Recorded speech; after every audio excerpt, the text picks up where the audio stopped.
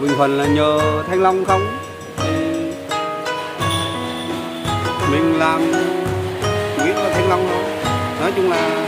phụ thuộc vào thanh long rất là nhiều. Bình Thuận mình á thanh long là không